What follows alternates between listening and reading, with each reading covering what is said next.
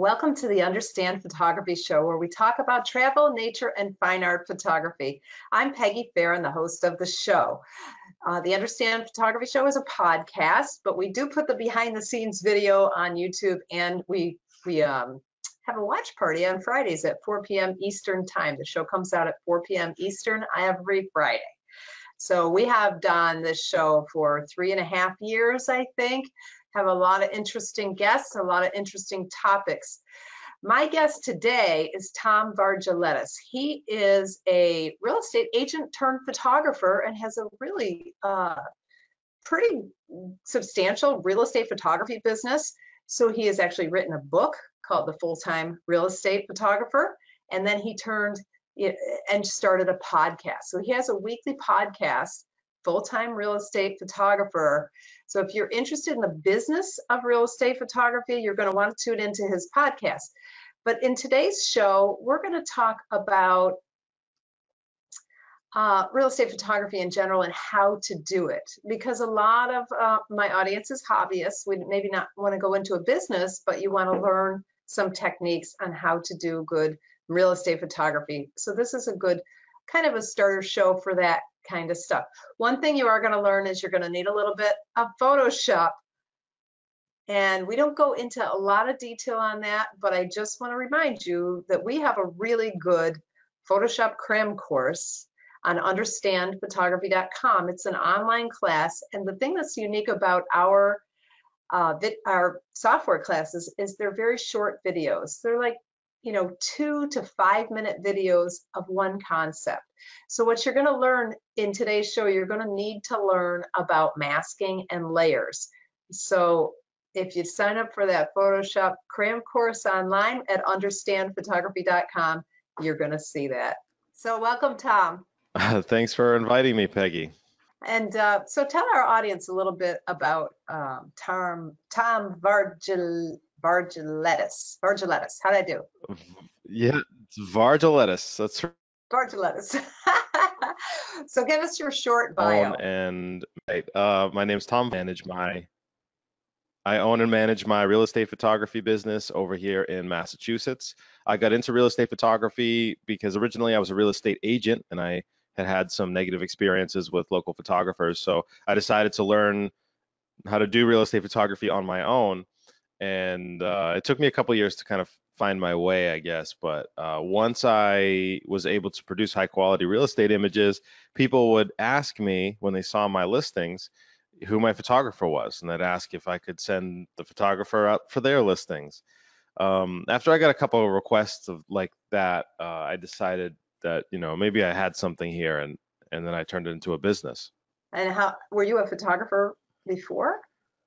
No, no. Um, I have always been interested in business, and I've been involved, like starting and and failing in many other different businesses, um, but never photography before. I mean, I've I've had an interest in photography, but no more than anyone else who's got a smartphone in their pocket. They can take photos of anything.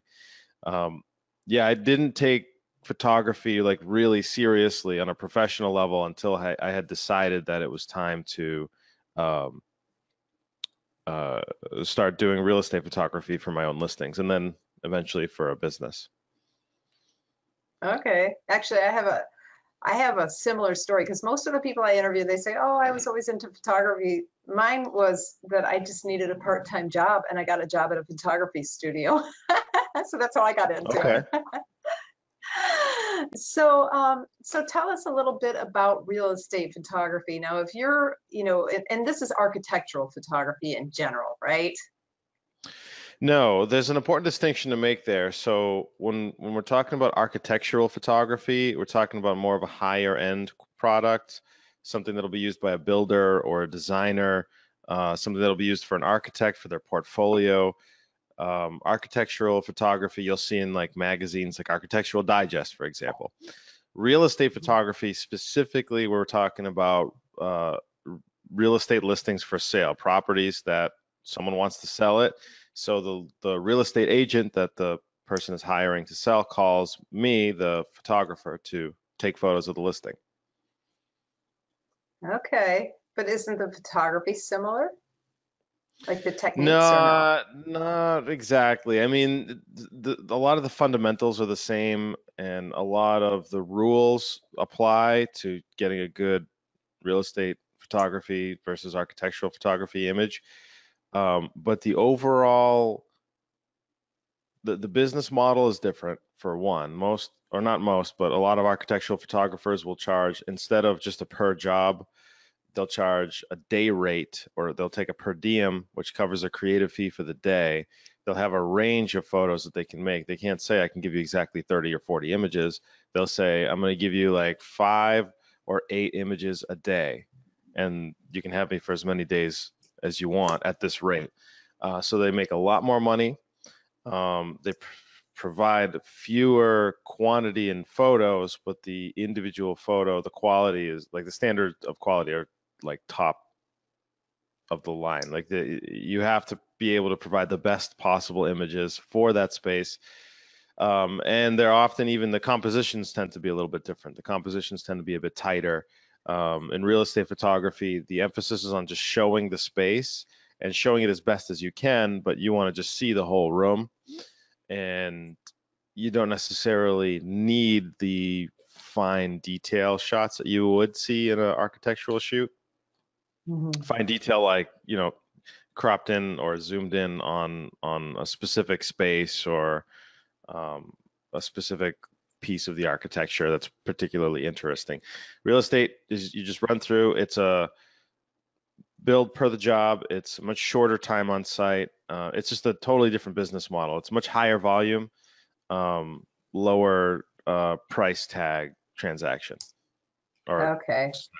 Yeah, you know, what? the other thing I just realized is that, um, you know, the people I know who are more architectural photographers, they're very creative. And with real estate photography, you, you really need the standard shots. The creative stuff yeah, doesn't you fly know, you, as much. You have some latitude to try new and interesting things, but the expectation is that you're just going to get a ton of really wide shots so you can see the whole house and you're going to make it look nice. Um, yeah. you, you know, you can do your interior design, more architectural style shots, but you'd have to kind of weave them into your standard real estate shots because uh, that's what the real estate agents are looking for. Okay, so if if this is something that I want to get into, do do I need specific gear for real estate photography? Uh, you know, I have certain recommendations, um, but honestly, the barrier to entry to real estate photography is low. So if you're a photographer who's into something else like portraiture or landscapes, or maybe you're not even a professional, you're just a hobbyist. I don't know. Let's say you take pictures of sports or, or, or uh, wildlife, well, whatever, whatever floats your boat. Um, if you're in a position where you need to, or you'd like to add some money to the bottom line, more money than what you're making now, if any, with photography, real estate is one of the best to get into. So when we talk about like getting into it, there's actually a really compelling reason as to why I think a lot of photographers would be interested in this. And we can talk about it more, but the clients are super easy to find and get in front of uh, super super easy. Real estate agents are constantly sharing their contact information. You know where their offices are who their managers are. Um, it's very easy to contact these people and get clients in the first place. Okay. Um, very easy to and like i said it's a high volume you know low time on site kind of a deal. Uh, if you're a photographer primarily doing other types of photography you can fill out those gaps during during the week. Um, or if you're just doing this kind of as a hobby on the side, you can finance or fund those passion projects by doing real estate photography deals for local real estate agents. Okay, so let's get back to so, gear. Now that we know that you're interested in getting into it, the gear that you need is not like you you, don't have to have the highest quality or or priced equipment to create high quality real estate images.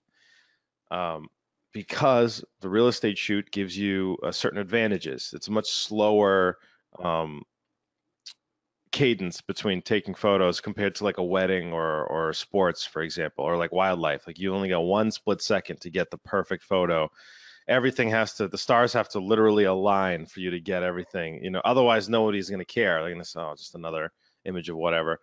Um, in real estate you can set up each shot. We put the camera on a tripod as long as you have a sturdy tripod i recommend using a geared head so you can control the the tilt axes but um, a good sturdy tripod something that's not going to shake easily around if you're standing next to it you know shifting your weight um, this means that you can now use longer exposures and still have sharp images.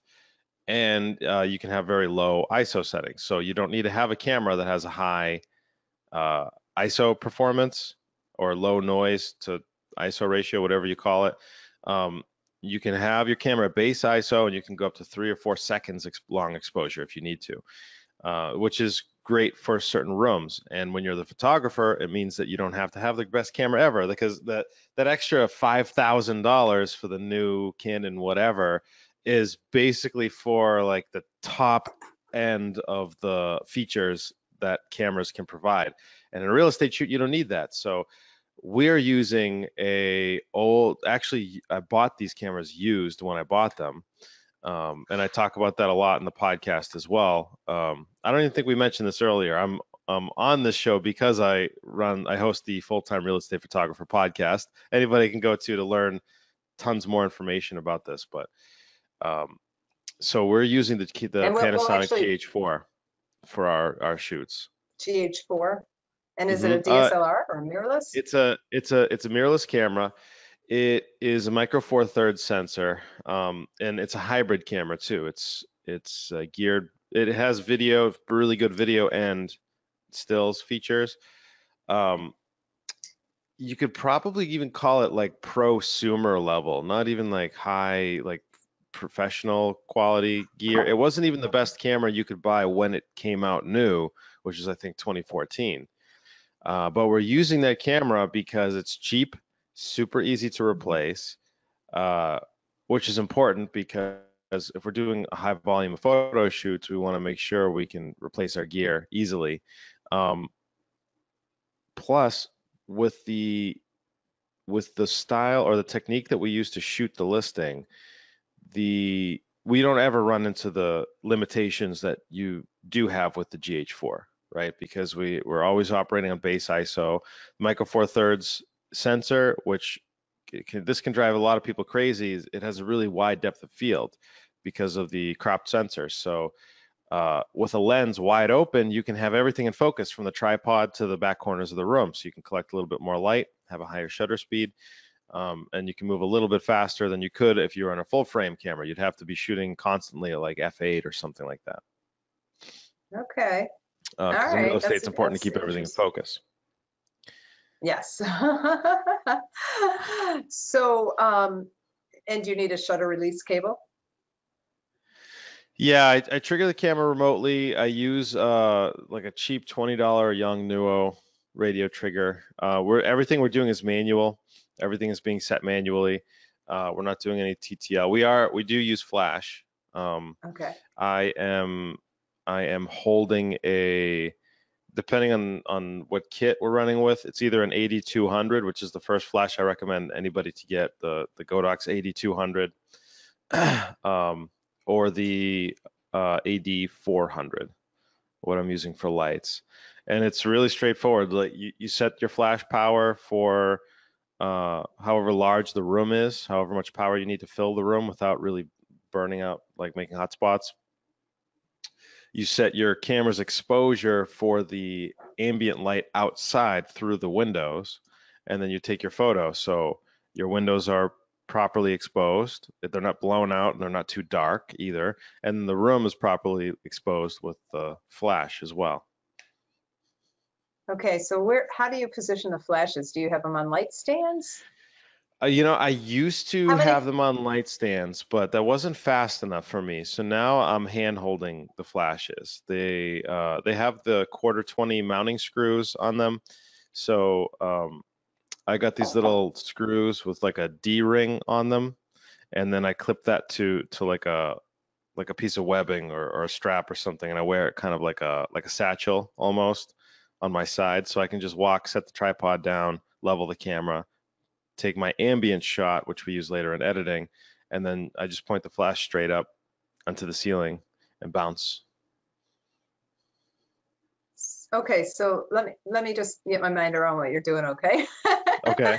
So you're taking first you're taking the camera shot with no flash hmm and you're metering For the Outside the interior, for the first ambient shot, for, for the ambient interior light, we're metering for the ambient interior light. So those are where you're going to get to more longer exposures.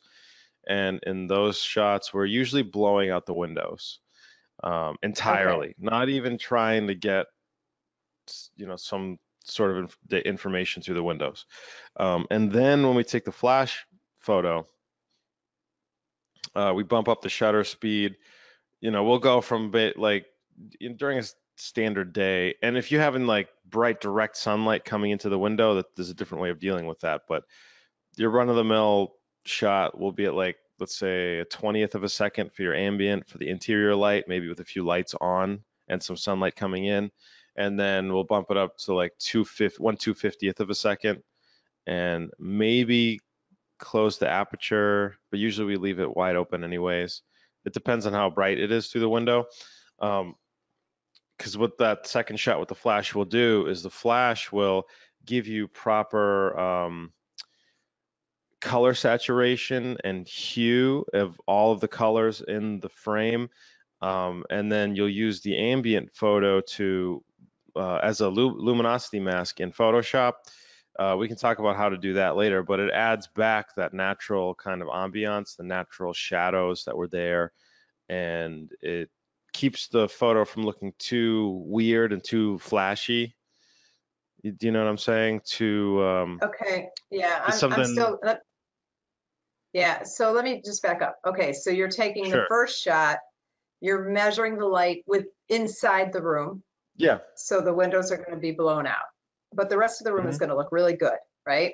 Mm-hmm. Then you're taking a second shot and you're pointing the flash up at the ceiling, if it's white, I assume. yes, And so that's gonna, the, the Most of ceiling's are. gonna act as, yeah, the ceiling's gonna act as a softbox and spread Mm-hmm. that light.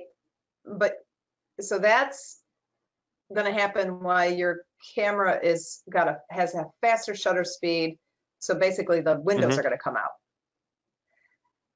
Where are you standing? Are you standing like behind the camera and, and pointing the light at the ceiling? Is that what you're doing, like in the middle of the ceiling? Uh, usually it depends on on the room. So I'm trying to put the camera as far back in a corner, usually, um, as I can to get that really wide shot.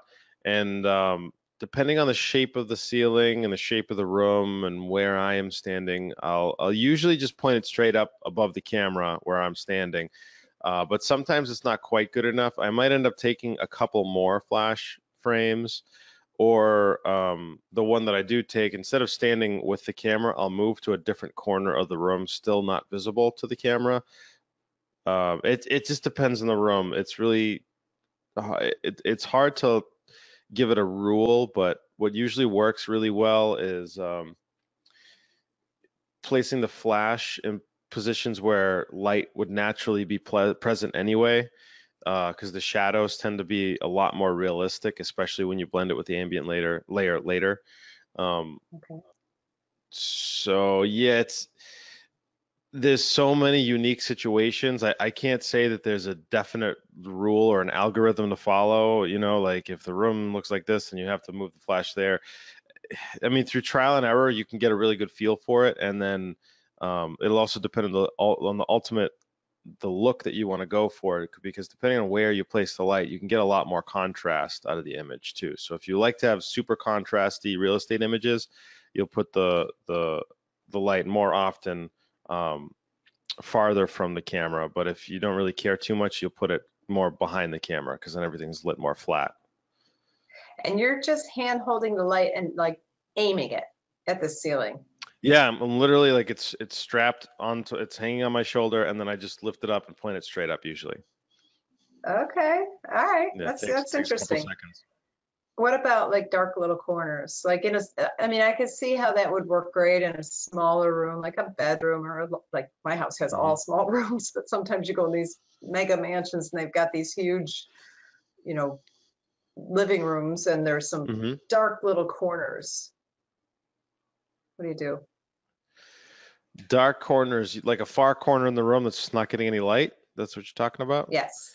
Yeah, that's Uh-huh. that's when I'll go through and I'll take additional uh, flash photos. So I'll take one maybe on the by the camera, and then I'll take another one in a different corner of the room, and uh, then I'll you know in Photoshop I'll just layer them and I'll mask myself out and any hot spots out of the uh, additional flash shots and just use the light uh, where I want it. Okay, so you'll actually be in the shot and you just Yeah, yeah. mask Uh, I try. out later. If I can help it, I try not to to save time, to save Right. time in editing and to save time on site. So if I can get it all done in one flash frame without me visible at all, I will. But uh, if if there's a problem area, I will I will take that additional photo and be in it. Okay, so even though I'm, I'm all over the place, I know I sent you questions, I'm not following them. But, um, That's okay.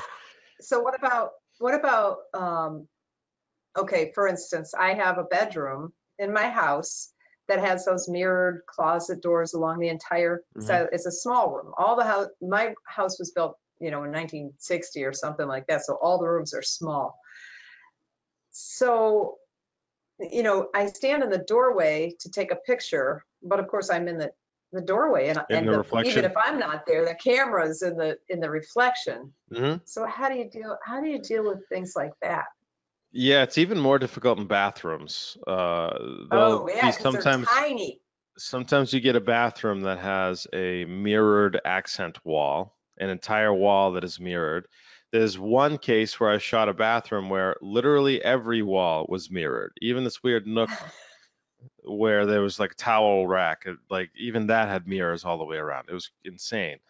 Um, the best way to deal with reflections is to try to not be in them, um, and but sometimes you can't really avoid it. So then the next best thing to do is to place the camera in a location, if you can, that has a really consistent background immediately behind it, like a plain wall, or if there's a you know wallpaper or something, something with a simple pattern, um, because that's super easy to clone out later in Photoshop.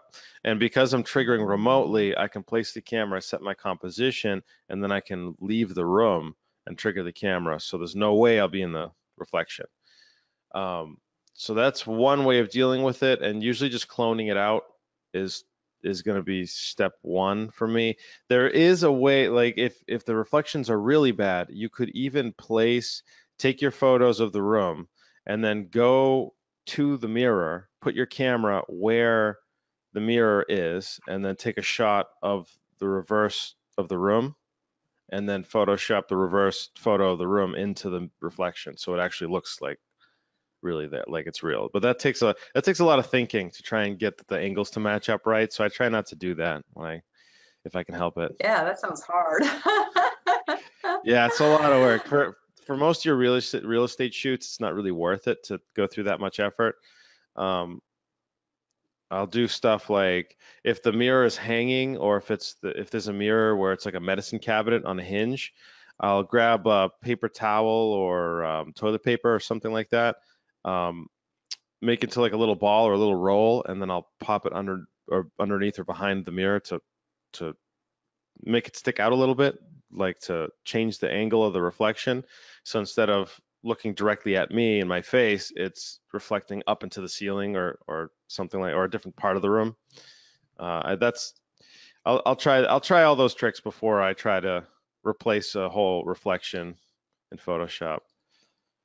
Wow. Yeah, I never would have thought of that. That's a great idea. Just turn the mirror if you can. Yeah, Mhm. that's the mirrors seem to be the hardest thing. Now, Yeah, they really can be. polarizing?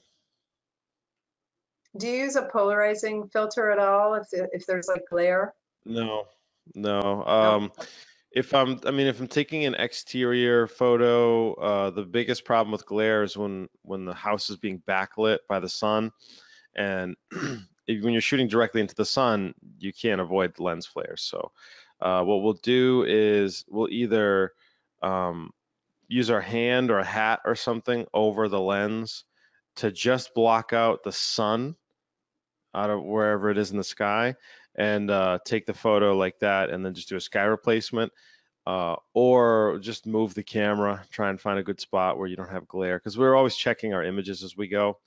Um, if in three seconds you could just step over a little bit, let a tree block the sun, stop the glare, and you retake the photo. We'd always we always prefer to do that.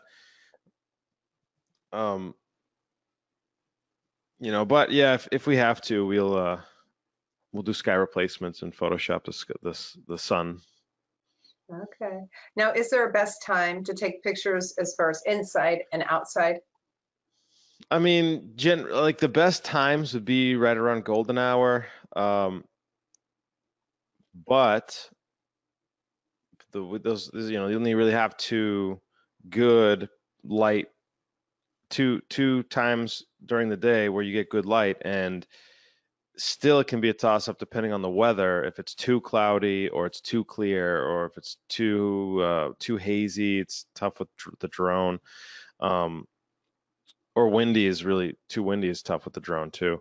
Um, so you know we we also take photo shoots all day. So we're doing like five or more a day basically seven days a week and you can't really just wait for the best lighting because you know you got more listings to shoot. So uh, we try and get the best possible exposure in camera and then we just polish it off and, and post. We don't really worry too much about the lighting. Um, if you were an architectural photographer you'd be much more strict about that.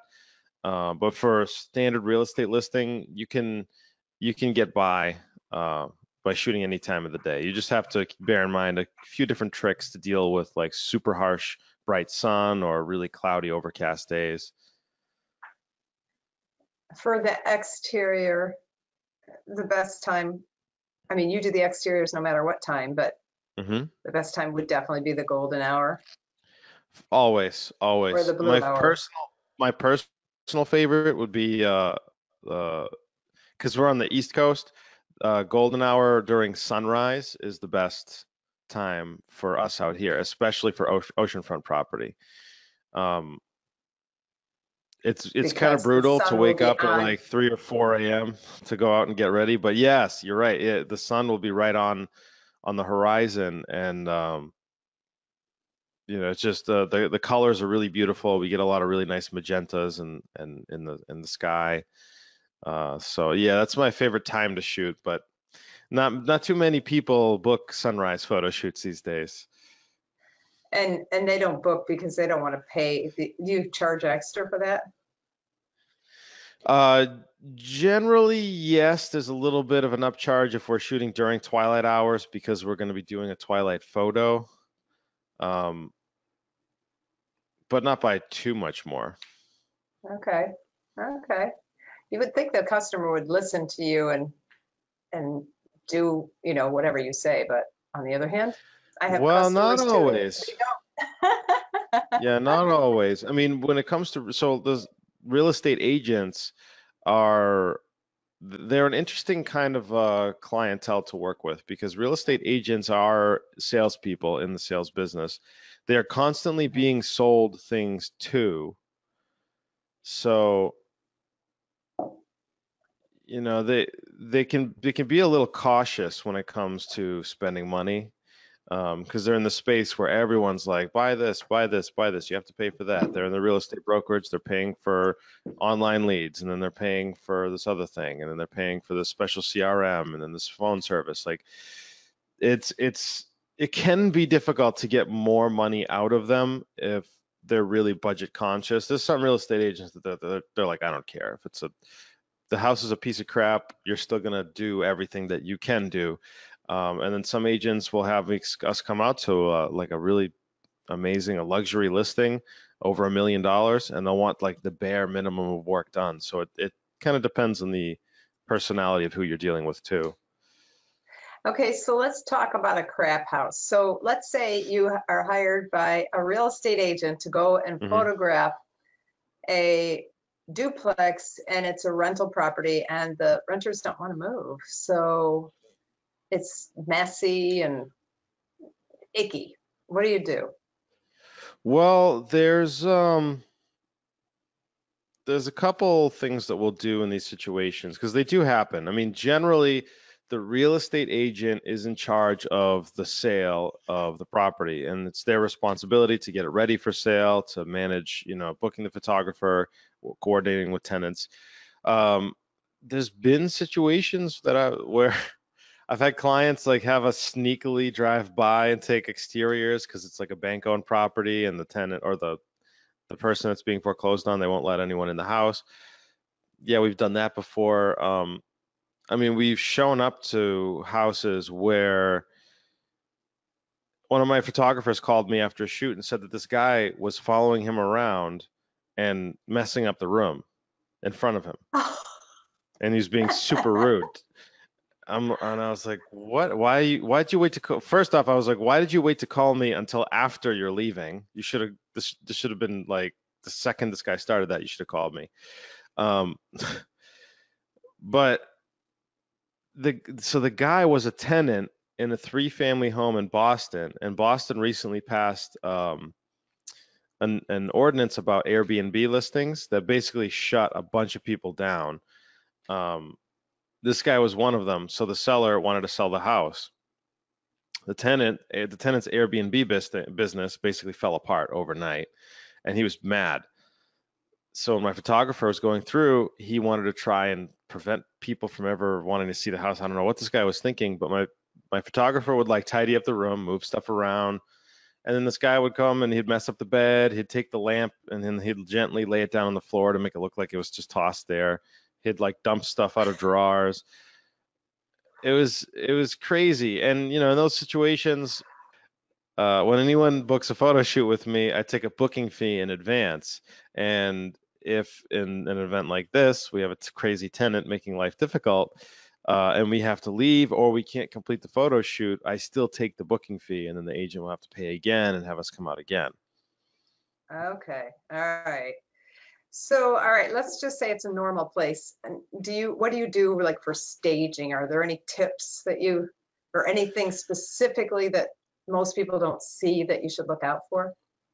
Um, I mean, the what seems to get the people what seems to get the most people is uh, reflections in non mirrors uh, most of us are pretty aware of like oh i can't be in the mirror reflection but like uh, stainless steel appliances coffee pots um, oven windows microwave oven windows uh, really shiny tile or uh, reflections on glass in in in like sliding glass uh, shower windows or other doors in the house. That that seems to get a lot of people. Uh, people that will catch a, even the smallest mistakes will still sometimes get caught in reflections. So um, that's probably the the biggest place where people make mistakes. So just be aware of reflections, or at least know how to deal with it in Photoshop. Um, if it's a stain, if it's an appliance surface, uh, generally, the reflection is really low fidelity anyway, so uh, we just mask it out and then uh, cut out that section or copy it, however, and however we want to do it, and then uh, just add a lot of blur, just make it super blurry, so you can't even tell if there's a reflection there. It's it's a really fast way of dealing with that. Um, with Windows, yeah, that can be kind of difficult, especially with your flash, because the flash can create a hotspot in the glass of the window. So when you get that exposure where uh-huh. you can see clear to through to the outside, uh, sometimes there'll be a big white blotch. So for those, I'll, I'll just move the flash and take another photo. Um, and if the second photo is just as good or better as the first one, sans the hotspot in the window, I'll delete the first one and just use that single flash frame to save time. Um, if it adds something to it, or the only thing it adds is just the removal of that hotspot, um, then you know I'll keep them both in that case. But yeah, that's reflections are are the biggest thing to do, to to to worry about. Um, the next biggest mistake that most real estate photographers will make is uh, toilet seats, toilet paper, and paper towels and uh, and hand towels, like in the kitchens and bathrooms, especially. People will leave out old, ratty, disgusting looking rags. They'll leave toilet seats up. Uh, paper towel will be all like scratched and jagged and, and crazy looking. Um, if it takes one second to just like turn the roll to the side so it's not obvious to see the ugly looking jagged edges or you know to just drop the toilet seat lid down or you know just do something like it, it, it's it's so irritating to get one of those things in the photos. Uh, one of the worst to fix is the toilet seats. To photoshop in a closed toilet seat lid is like such a pain in the neck. Um, it's a huge pet peeve of mine. Uh, Okay. and Close it's really seat. common really common common mistakes. Yeah uh, windows and blinds not being consistent heights. Um, never mind throughout the Oh, whole house but in an individual photo people will do that. They'll take a photo they'll look at it later and they'll be like oh great the especially from the outside from exterior images uh, that will throw me off a lot. Like if the different levels of the house aren't at similar um, distances of being open if they're all like all over the place like a like a sound design board like some are all the way open some are shut some are in the middle it's an, that's so annoying Okay, so how do you get the lines to be straight? So because in real estate, especially if you have smaller rooms, right, you're going to have converging lines. Mhm. How do you deal with that? yeah that's a big problem so we're not going to worry about our horizontal lines only our vertical lines the horizontal lines can converge any which way they want to um, but generally you want to straighten out your verticals. And when we say straighten out your verticals we don't mean make them true level like as, as if you're holding a level on the object itself but you want to make them look properly vertical in the image meaning the left and right edges of your frame. If you were to drag a line that's perfectly parallel to the edge of your frame every vertical line matches it lines up Okay. perfectly. So that's that's what we want and the easiest way to do that is to shoot on a tripod and level the camera. Um, i mentioned earlier i used a gear a geared head which just has three knobs for your three tilt axis axes. Axes is right right? I think that's the right word. Uh, your three tilt axes, uh, so you can adjust, you know, tilting forward, backward, left and right, and then um, uh, uh, twisting side to side. So this way you can perfectly level your camera, and then you basically don't even have to apply um, any kind of perspective adjustments afterwards if it's done properly in camera. There are situations where a- you don't want to do it properly in camera. Okay. What, Go what were you gonna ask? Does it matter where the height of the camera is? Or where, I guess the better question is where should the height of the camera be? Yeah, so uh, most of my shots, uh, the camera is going to be about at the same height as a light switch would be. Um, I don't, I don't like measure wherever the center of the sensor is from the distance to the floor, but uh, generally, if I'm, you know, around that height, or for me, like somewhere on, in the middle of my chest, usually is is a pretty good height, um, because the you're just about splitting the difference between the ceiling and the floor. Uh, so the compositions tend to be a little bit more symmetrical that way between ceiling and floor. Uh, there are some cases where I will raise or lower the tripod depending on whatever composition I want to go for, but my defaults would be like that height, like the switch height, and then I'll I'll go up and down um, as needed if I really need to. Um, there is a scenario where you would want to take a photo with the verticals out of alignment and then realign them later. And that's when you want to do a fake tilt shift. So are you familiar with the tilt shift lenses? I am, but maybe my audience is not, so. Okay, so a tilt shift lens can is a special kind of a lens. They're very expensive. Uh, they're all manual lenses, and they can do two things. They can tilt and they can shift. Uh, tilting, I mean literally, like the lens can tilt up and down, like you're bending a bendy straw. that kind of a tilt, right? Okay. Uh-huh. and that changes your focal plane. Um, and that has some interesting effects there that almost nobody uses. I mean, you would, but for a very specific situation. Um, that's tilting. And then shifting shifts the lens over the sensor, um, maintaining the perspective of wherever the height is, but it's changing your composition. Um, so the best example of that would be, you know, if you take a photo tilted down and then you see all the converging lines, right? And then in Photoshop you level it out. That is what the tilt that's what shifting the lens is going to do. It's going to keep the verticals vertical, but it's going to change your perspective. Like if your camera is up a little bit high and then you can see clear over the top of a table, Mhm. and then you shift the lens down, you'll still have that perspective and see clean over the top of the table, but you'll also see all the way down to the floor. Whereas if you had physically dropped the camera instead of shifting it, you would change your perspective. Of, so instead of seeing clean over the top of the table, now your eye is in line with the edge of the table. So instead of seeing a table surface, you just see like a brown stripe of the edge of the table. Is that?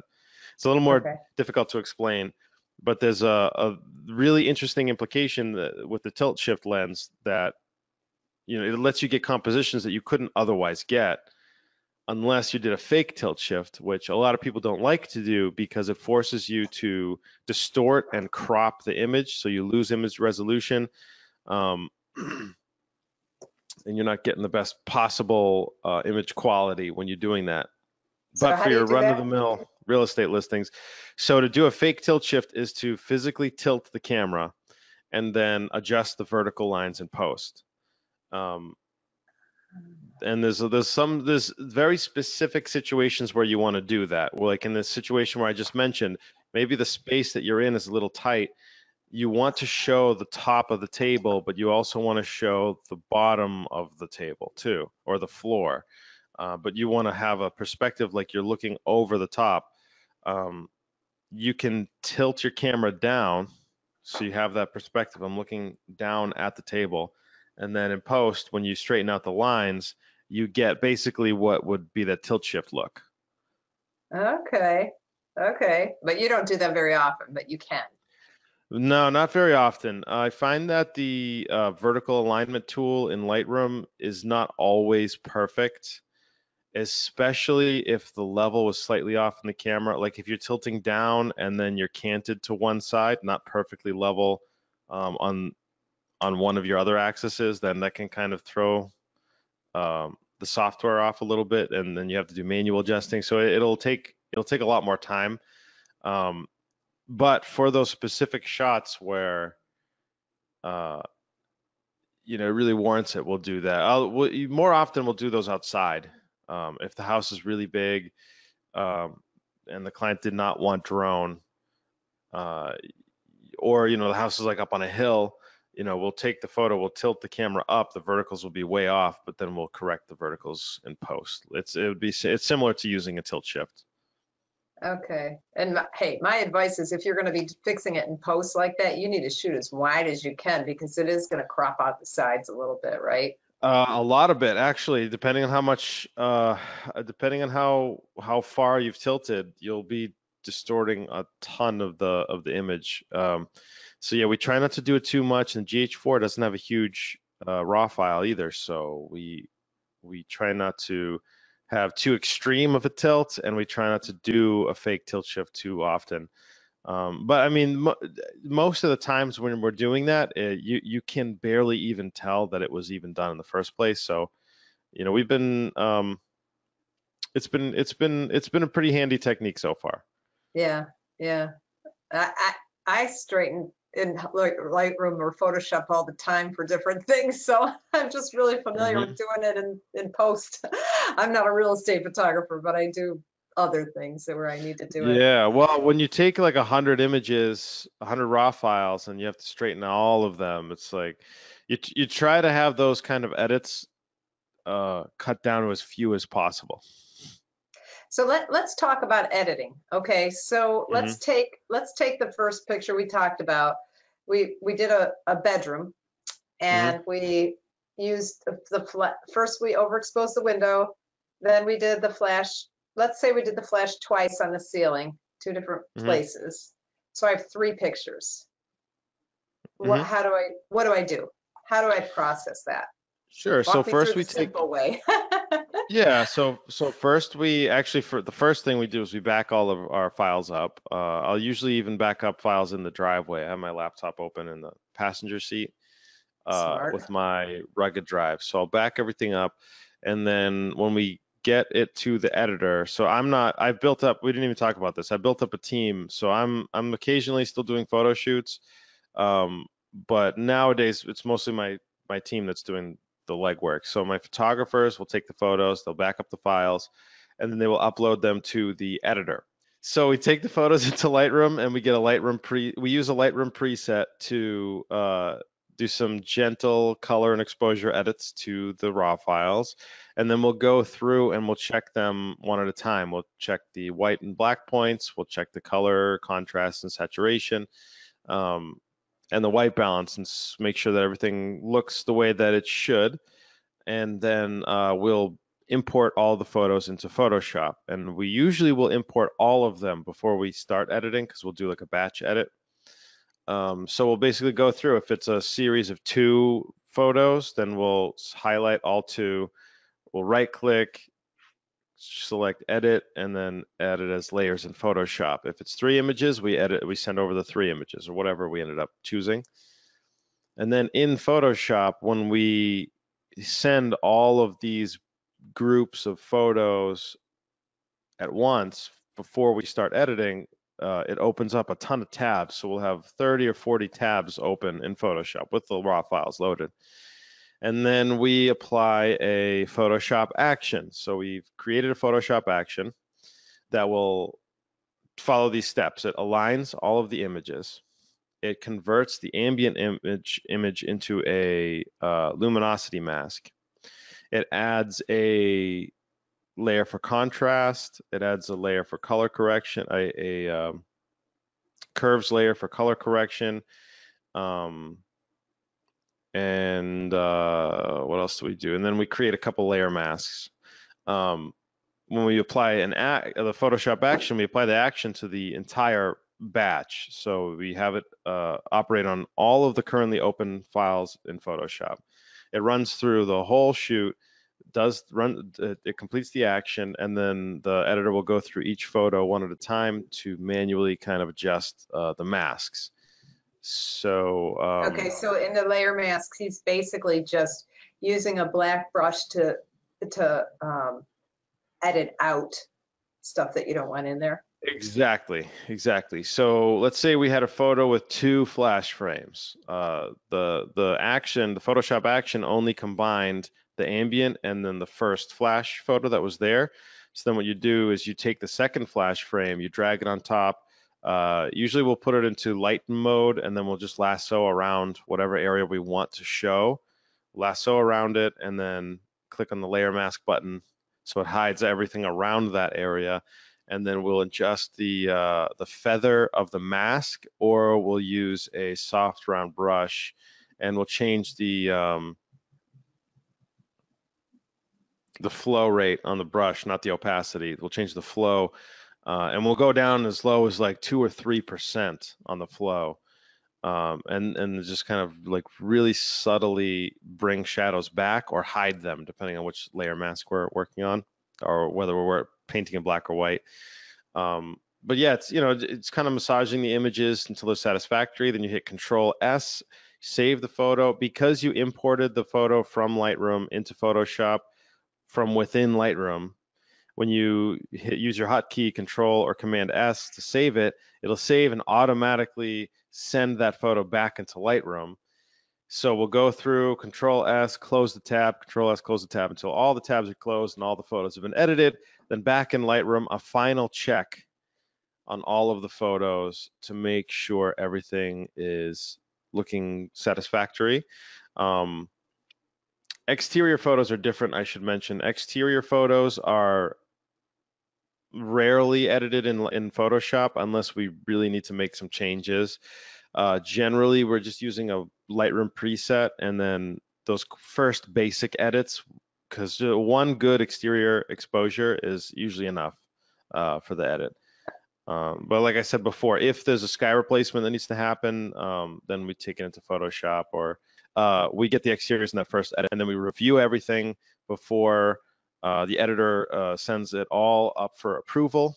My admin takes a look at the files, approves them, and then sends them out to the listing agent. Okay, awesome. All right. So it sounds like, you know, you you you need to learn some Photoshop skills.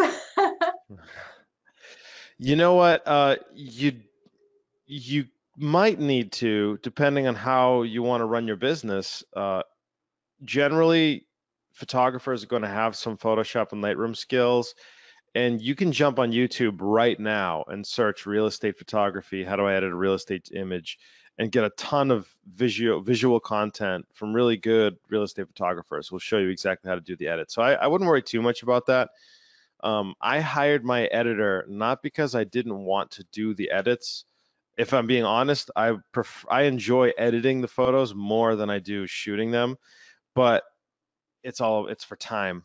Um, you know, in my podcast, the Full Time Real Estate Photographer podcast, and in the Full Time Real Estate Photographer book, they both have the same name. I focus a lot of my time and attention on the business side of the business. Um, because it's so important to you can get a camera and you can learn how to edit and that's nice but if you can't bring money in then you know what's the point so yeah, so, uh, so, so tell us what came first the podcast or the book the book actually uh, so I, I always had an interest in writing even from when i was little and i would always keep like little journals and things i think when i was like four or five years old no, no, I must have been older than that. When did I learn how to write? I was I was young when I learned how to write. I was really young, and I had like I still have it somewhere, the spy journal uh, on my siblings, watching them watch TV or I don't know what's kind of stupid stuff. I've always enjoyed writing, and uh, there's it came at some point probably towards the no, it, it, was while I was in the military actually, where I said, you know what, if I'm going to spend time writing, why don't I focus my attention on a specific project? And you know, since then I've published a couple different books. I've actually three books, and uh, one of them is the full-time real estate photographer. And I I wrote this because in my business, and we probably should have brought this up at the very beginning, but my business, I I was able to start it really quickly. When I decided to pull the trigger and say, you know, I, am going to take this real estate photography thing seriously and try and make a business of it, um, it was just a couple months before I started to replace my other sources of income. Wow. And and uh, not in the not that first calendar year, but within that first 12 months of starting that business, I broke through six figures in revenue and okay. it's gone up ever since. Okay. Um, so this can be a really, really, really good business. And you know, as we were growing, and we're still growing, but as I started hiring staff, then I started having more free time during the day, and you know, that's where I got the ideas of, you know, I like to write, I like to teach and share things. My mother's a teacher, um, probably why I got into writing and reading so young. Um, but you know, it, it's uh, something about it's really fun and interesting to me, and and I just I just like to share uh, uh, and teach people. So I, I, I wrote the book, I published that. Um, it was received pretty well. I also really like uh, uh, podcasts. I consume podcasts um, on a daily basis. So uh, and I also enjoy doing audio production and, and working with video. Um, I've been getting a lot more into video for the, the real estate uh, clients doing client testimonial videos, real estate videos. Um, so I said, why don't I do a podcast? And yeah, things just kind of, as I started to have more time to think about doing projects like that are more personal or fun, um, that's that's where I started to actually work on these. Tell us the name of the book and the podcast again. Full time real estate photographer. It's the same name for the book and for the podcast. And, and the podcast you can find on iTunes and Stitcher and, Yes, you can find the podcast on all the major podcasting apps. Uh, it's it's on iTunes, it's on Spotify, it's on the Google Play Store or whatever the podcasting thing is for them. Um, yeah, I think we're on 10, 10 of the biggest uh, podcasting platforms, so that shouldn't be too hard to find. Uh, and the book is on Amazon. You can just search full-time real estate photographer. Um, you can search my name uh, if you want to venture trying to spell it but uh, you'll, you if you search my name, you'll see all the other books. Only one of them is the photography book. so just generally, how do, how does the audience find you? Okay, we can find you on the podcast, we can find your book Mhm. on Amazon. How else? Honestly, that's that's the only place I'd want to send you. If you're a photographer and you're thinking about real estate photography, go to the podcast first. If you're a photographer and you're thinking, you know, I'd like to start making money for the first time ever, ever, or to add a few hundred, or maybe depending on how far you want to go with it, a few thousand dollars a week to your bottom line. I know you can do it with real estate photography, and I talk about this in the podcast constantly of how we do it, and not just, you know, hey, look at me, I've got a business, and how do you like that? It's it's me breaking down individual business concepts in a way that you know you're not just going to get information but you're going to get the recipe for like what you need to do and and how you're going to do it. Um, business at the end of the day is all about taking actions and doing things. So when i share some information i want to share it in a way that you can then take action and do something with it. So the first place I'd want to send anybody is podcast because it's Okay. free free easy to access um, and you can kind of cherry pick the information you want to listen to. If you want something more i'd say check out the book. Uh, you can find the book on amazon. Um, if you wanted to uh, you could reach out to me directly. I share my my contact info in each podcast. You can find it there and uh, order a book through me directly or order it on amazon uh, if you order it through me i'll write you a cute little note a special thank you because of uh, amazon's uh, royalty split is not that great Tell me about it. um, yeah, it's less than 50%. Um, and then, you know, for the really advanced users, I also, I also offer uh, business coaching for real estate photographers. But if you're brand new or you don't have much of a business go you're that to go off of, really the podcast is the first place to go. That's the first place Okay. to go. Um, because business coaching, it's it's expensive and it's a little more intensive. Um, and I don't like having people. I mean, sometimes they insist on it, but I prefer to not have people to just do like a weekly therapy session. I'd rather have actual coaching and help you make moves in your business. Okay, all right. So we are going to find the podcast called The Full-Time Real Estate Photographer. And it's Tom Vargale- Vargeletis, Vargeletis, V-A-R-G-E- Vargeletis. Yep. V-A-R-G-E-L-E-T-I-S, right? Yes. That's a long name. I know. I know. It's the only one I got. So Well, thank you so much for being on the Understand Photography Show. thanks for having me. And we are going to put um, in the show notes on understandphotography.com, we're going to put links to Tom's information, links to the podcast, links to his book, so that you can find him very easily. And hopefully, he will share a few real estate photography pictures with us so you can see some of his work. I'm Peggy Farren. Thank you so much for watching the Understand Photography Show. Remember, check us out at understandphotography.com.